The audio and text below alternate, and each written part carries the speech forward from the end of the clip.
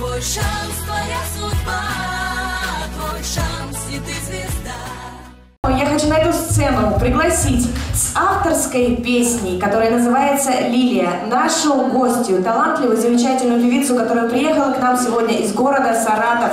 Под ваши аплодисменты Наталья Чистякова. Встречаем! Громче-громче аплодисменты, поддержим артиста!